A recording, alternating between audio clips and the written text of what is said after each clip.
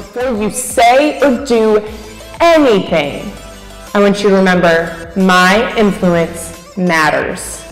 What you say, what you do in that moment is going to affect the behavior and the character of every single person that hears what you say or sees what you do.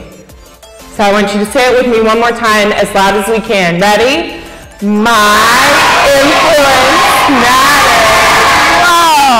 You guys, you are awesome.